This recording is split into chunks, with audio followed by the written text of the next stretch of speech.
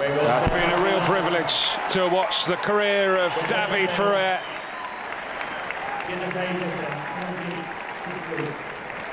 He wants to go out on his terms this year. And a good performance, a good match. Jaziri played his part. This is his best tennis of his career, but Ferrer back in Buenos Aires, a place that means a lot to him, having won the title in th three occasions. And hoping that the body can stand up to the rigours this week. Who knows what Ferrer could achieve, but epic tiebreak, won it 15-13 and then was able to win the second set, six games to three.